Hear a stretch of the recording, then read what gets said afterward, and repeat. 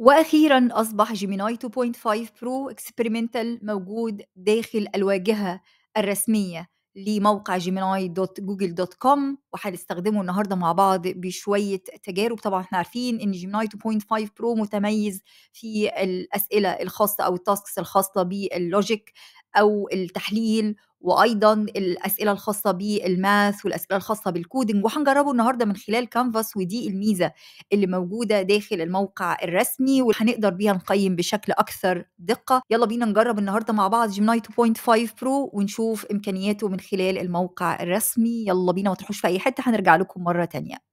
متابعي قناة إنفوتك فور يو السلام عليكم ورحمة الله وبركاته. يا رب تكونوا بخير وبصحة وسلامة. كل عام وحضراتكم بخير بمناسبة عيد الفطر المبارك. أعاد الله عليكم بالخير واليمن والبركات. والنهاردة مع بعض مع فيديو جديد بنتكلم فيه عن Gemini 2.5 Pro Experimental واستخدامه داخل الموقع الرسمي gemini.google.com هحط لكم رابط في الوصف أسفل الفيديو ويلا بينا مع أول task معانا النهارده.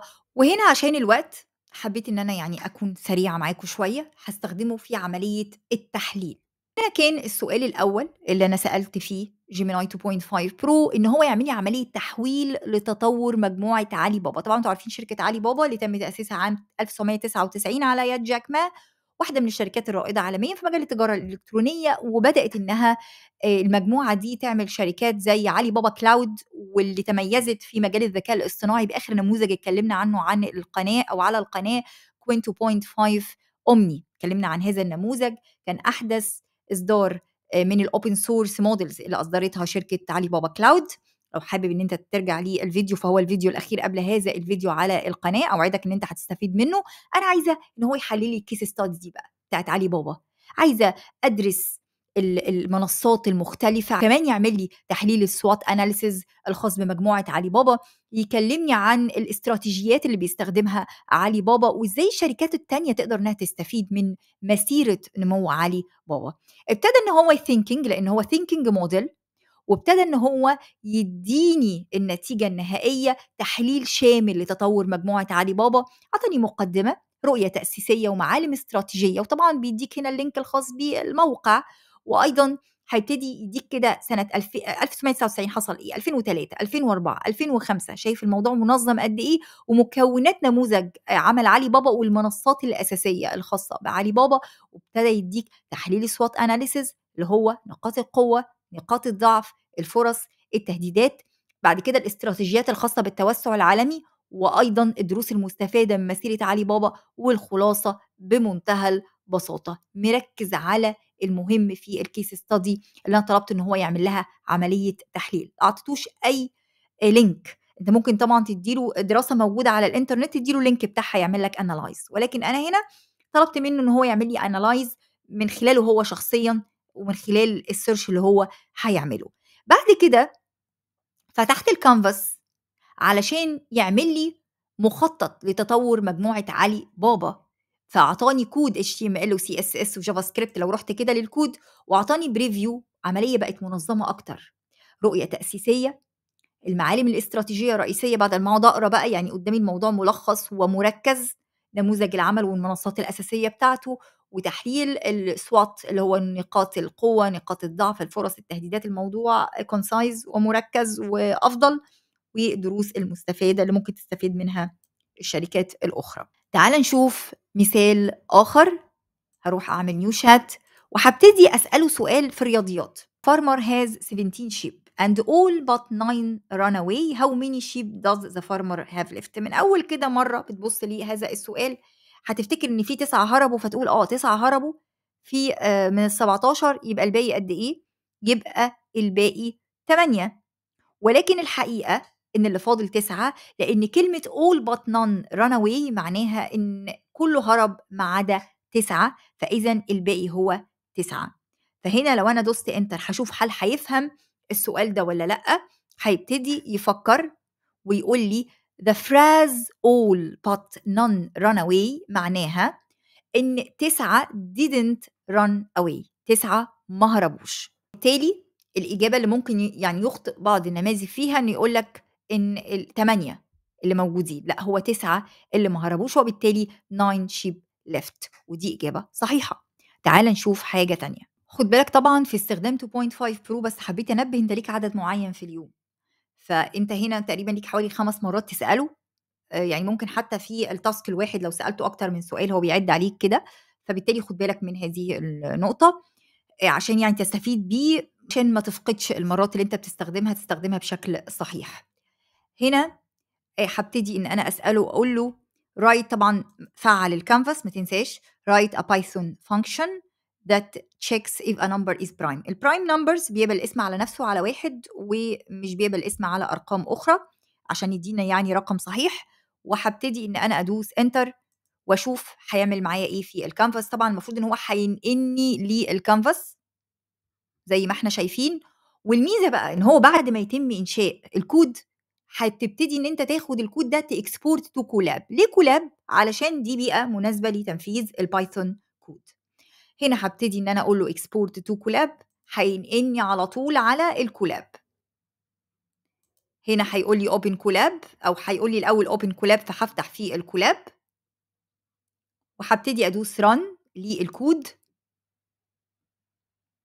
ونشوف مع بعض دلوقتي الfunction.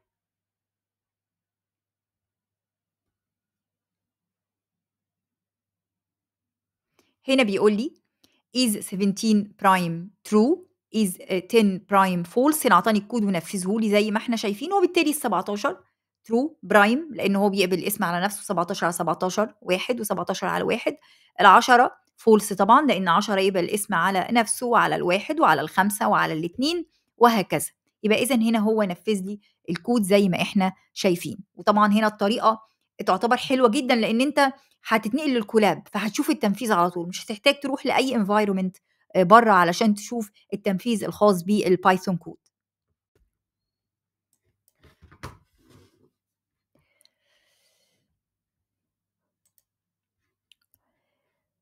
وهنرجع نفعّل الcanvas مرة تانية.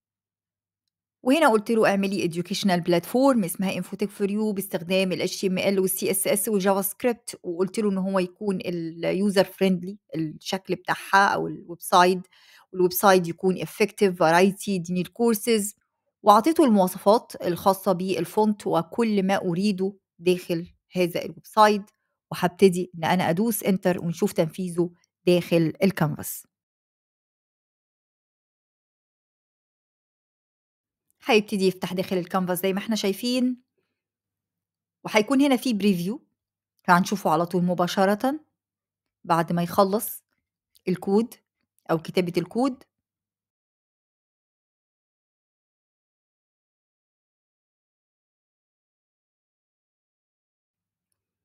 وحتى لو بياخد وقت من وجهة نظري في كتابة الكود أنا مش محتاجة السرعة، أنا محتاجة النتيجة تكون صح أو دقيقة، فأنا مش هيفرق معايا هنا بياخد وقت قد إيه، المهم يدّيني نتيجة مضبوطة. خلّص الكود ونفّذ زي ما إحنا شايفين النتيجة عاملة إزاي. هنا الcategories بُص web development، data science، cloud computer. هنا search courses في login التسجيل up what do you want to learn اكتب data science يظهر عندي الdata science. هاكتب مثلًا AWS cloud هيظهر عندي، وهنا infotech for you هنا هتحط الlinks about us courses contact privacy حاجة في منتهى الجمال بصراحة زي ما إحنا شايفين في تنفيذه للكود. سؤال تاني هنستخدم فيه Gemini 2.5 Pro وهافعّل الcanvas وهاطلب منه يدّيني آآ infographic والinfographic ده عن تمثيل الضوئي وطالبة منه إيه بالضبط وهادوس enter. طبعًا هو أكيد هيعمل كود ومن الكود هيعمل preview للinfographic هنشوف مع بعض دلوقتي.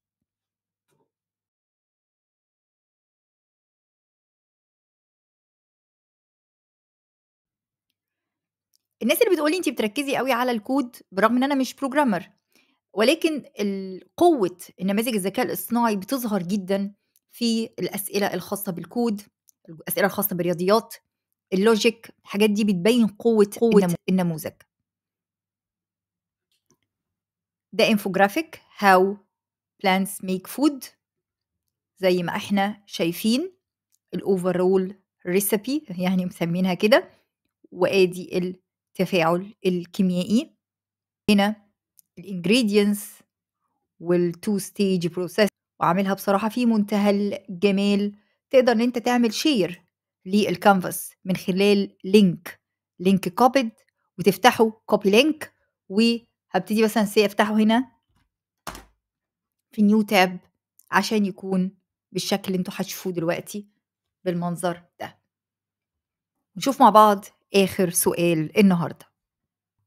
هنا هاسأله أقول له write an essay about the effects of social media on teenagers تأثير السوشيال ميديا عن المراهقين في 500 كلمة. The content should be written in academic tone يعني اتكلم في academic tone and include an introduction body paragraphs and طبعًا conclusion في الآخر و discuss الpositive والnegative effects وهادوس ممكن طبعًا أفعّل الcanvas عشان أقدر أعمل edit على الassignment وهادوس enter. أنا باحس إن معظم النماذج في الفترة الأخيرة في الكتابة الإبداعية هم كويسين يعني، فأعتقد إن pro أكيد هيكون النتيجة بتاعته جيدة جدًا. زي ما إحنا شايفين عطاني الeffects of social media on teenagers.